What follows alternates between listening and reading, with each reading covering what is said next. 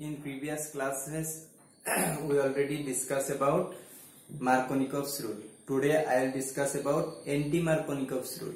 This is slightly different with Markovnikov's rule.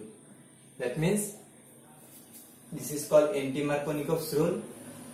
When unsymmetrical reagent is treated with unsymmetrical alkene, the positive part of the reagent goes to the carbon-carbon double bond who is bearing lesser number of hydrogen atom and similarly the negative part of the reagent goes to the carbon-carbon double bond who is bearing higher number of hydrogen atom.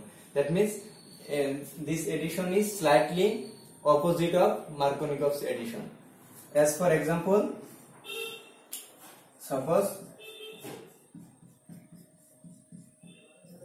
this is the example of this addition is beer.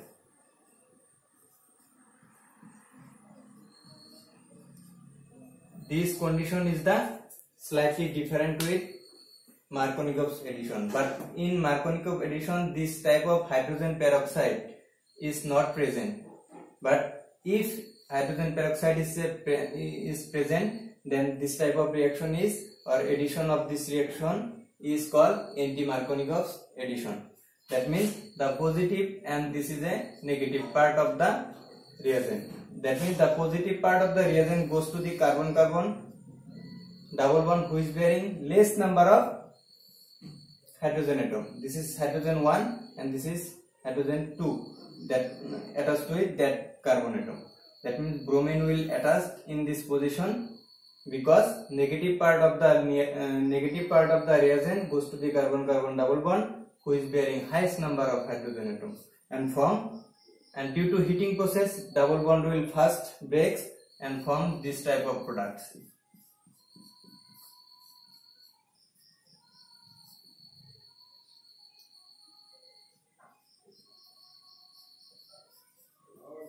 that means one bromo propane will form that means 1 2 3 in on position one bromine group is attached. That's why one bromo propane will be formed. This is called propene.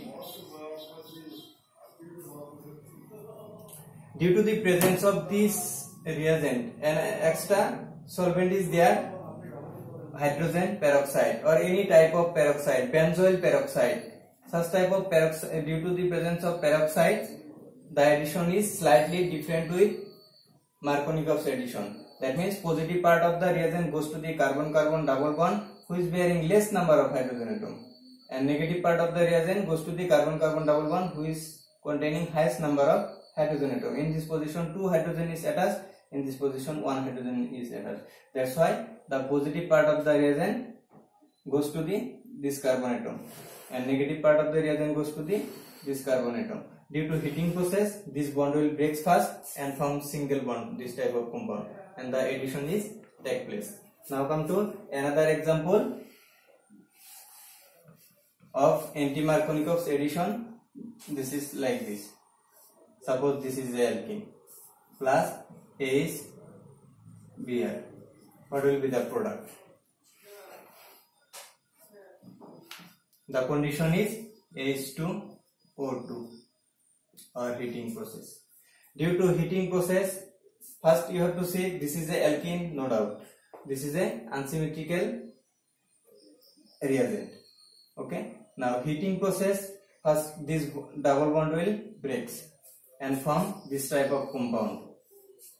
This is 1 2 3 4 5 1 2 3 4 5 due to heating process this bond will breaks fast and form this type of single bond now come to where is the positive part or negative part will goes now this positive part will goes to the carbon atom where less number of hydrogen atom and negative part will goes to that carbon atom where is maximum number of hydrogen atom because in this position two hydrogen is attached in this way but in this carbon atom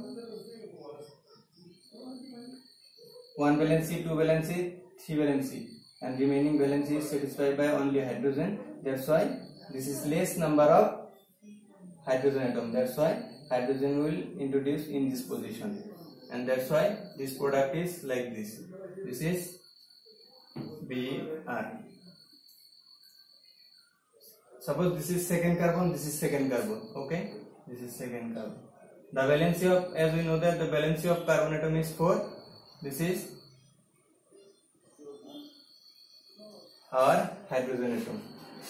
And this is the previous hydrogen atom and this hydrogen is come from this reagent. This hydrogen. And from such type of product is known as anti-Markovnikov's addition. That means the difference is that this reagent hydrogen peroxide with Markovnikov's addition. Thank you.